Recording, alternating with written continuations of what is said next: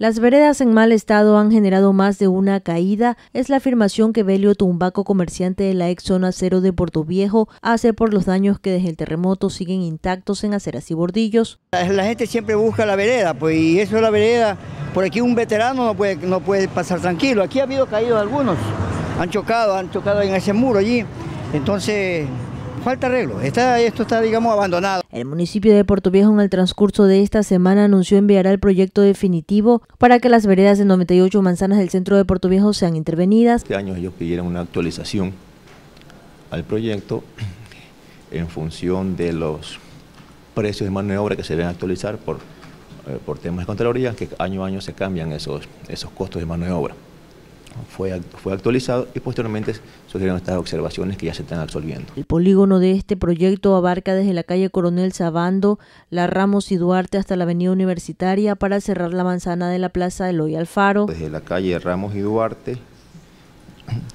tenemos la calle América, bajando todo lo que corresponde a la Córdoba, cerrando por la calle Sucre, 18 de octubre. Por el otro costado tendríamos la calle Coronel Sabando, hasta lo que corresponde la Bolívar, bajaría hasta las dos eh, Rocafuerte y la calle 12 de marzo.